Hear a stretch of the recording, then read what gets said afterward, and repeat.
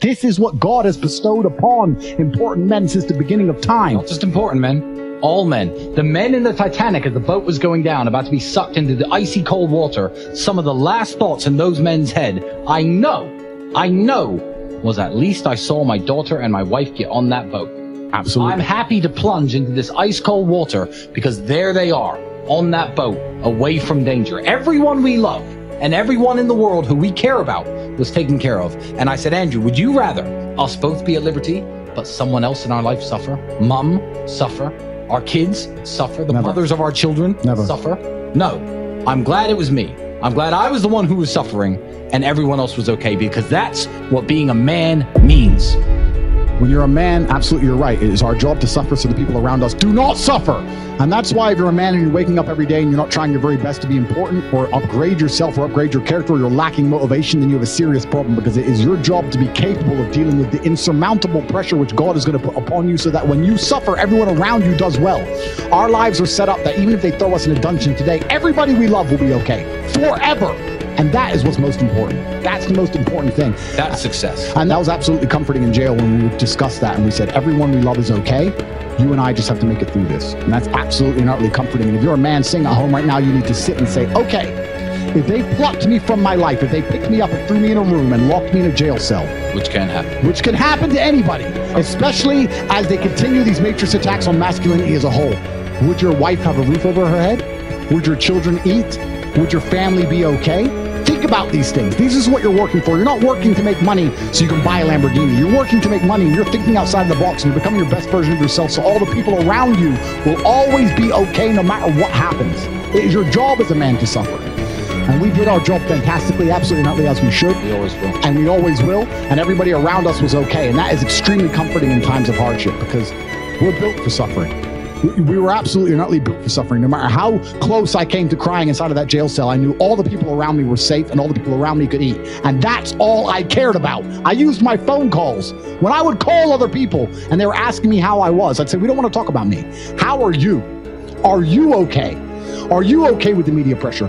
Are you okay? Is your are your bills paid? Do you have money? Or, or can you eat? I'm in a jail cell in Romania, making sure that everyone I love is okay. I don't need them to sit and worry about me. I worry about them. I sat in a jail cell making sure I could fix the problems for the people I love outside in the free world from a dungeon. That is what a man does, and you must prepare and set up your life for that. You must be prepared to be plucked from life and understand that everybody around you who once relied on you will still be relying on you even when you sit in that jail cell. It's still up to you. You are still the man of the household. You are still the top G of your life. Only you. And if you don't pay the bills, who's going to do it? Your wife's just going to what? Go get a job, get like five jobs, and raise your kids? How's she going to do that? You must be prepared for these things. That is what you're working for. So if you wake up every day as a man, and you say, I don't have motivation to become strong. I don't want to work hard and get rich. I don't want to try and become financially free. What you're saying is that the second you disappear, the second you disappear from your matrix controlled job, everyone who loves you and respected you and relied on you is going to starve. How can you live that way as a man?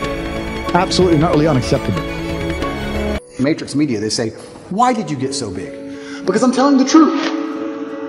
I'm telling the truth, which every man knows is intrinsically true in his heart, because God has instilled him with a, a basic degree of morality of right and wrong. I'm saying things to a 17 year old boy, and he's going, He makes sense. I get it. Everything I was told so far just didn't quite click, but this does. And that's what they're so scared of. I was talking about this the other day. I was talking about how I have a, a pet peeve, and one of my pet peeves is, is painkillers. And I was being typical me, and I was going over the top. And I was discussing with this guy. This guy said, Have you got any aspirin? I said, There's no aspirin in my house. And he said, Why? I said, Brother, you are not facing 1% of the life difficulties I am facing. Think about it. No government's trying to lock you up. Matrix isn't after you. They're not trying to frame you. Nobody wants you dead. When God finally gives you a tiny headache, to give you something to show you're half a man, a little bit of resilience. You pussy out and take an aspirin. You can't just have a headache. Just have a headache. And not only just have a headache, have a headache and don't mention it, because I don't care. So don't even talk about it. Nobody needs to know. What do you want? Do you want therapy? You want sympathy? Nobody cares you have a headache. Shut up. Like nearly any problem on earth, whether it's men's mental health, whether it's women's mental health, no matter what it is, whether it's crime, no matter what it is, how do you fix the problem? By building men of caliber, by building men of capability and status and honor and dignity, and by building men of ability to be good standing citizens who are respected by their peers. All of it comes back to improving men. All of it. Every single problem you can possibly name, it comes back to building strong men of capability who are respected. That's all it's the baseline of humanity. Men always has been the baseline of humanity. And that's why nearly every problem we can name, all of them are in a direct negative correlation with masculinity. As masculinity plummets, all this garbage is going up through the roof. Is that a coincidence? Absolutely not really not. It's, it's, you can literally see it with a graph and you can see it happening. Saving the way men think and operate, growing a new generation of men who understand they have duty to themselves, their last name, and God, literally saves the world. All of it. Women respect men who stick by their principles and their beliefs, and the principles and beliefs of a man are always to do what he is supposed to do, regardless of how he feels. You must train when you don't feel like training. You must protect when you don't feel like protecting. You must be a good man. And when you're actually a truly good man and a high value man, this is something I absolutely realized in jail.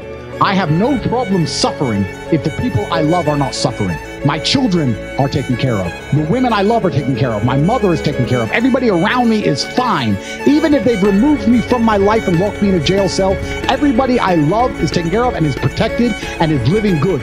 I must suffer because I am a man. I am the head of my empire. I'm the head of the clan. Of course, I will suffer, but the people I love are not suffering. If you look at anything that builds a man into a man, there's a degree of suffering so many men say, I want to be the man, but they don't want to suffer, they don't want to fight. And I don't understand why, because even if you look at a superhero movie, they tell you, even in superhero movies, they make it very clear Batman's parents died. That's why he's Batman. It's very hard to become a man and have a man who's respected and has stories and is capable when he only had a nice life experiences. It's usually the things that made you the best version of you are usually the worst things that happened. All the bad things have to happen. There's no way to get there without the bad things. Where do you find the strength when you're in these difficult situations? I always find the strength from, from my last name. I'm Andrew Tate. I'm Andrew Tate, so I just have to do it. I'm in a Romanian jail cell. I wake up, there's cockroaches in my bed. They're all over my face. What am I gonna cry? Am I gonna go and sign a piece of paper and say I'm guilty? I'm gonna sell my brother out? No, I'm gonna take the cockroaches off my mouth. I'm gonna do some push-ups because I'm Andrew Tate.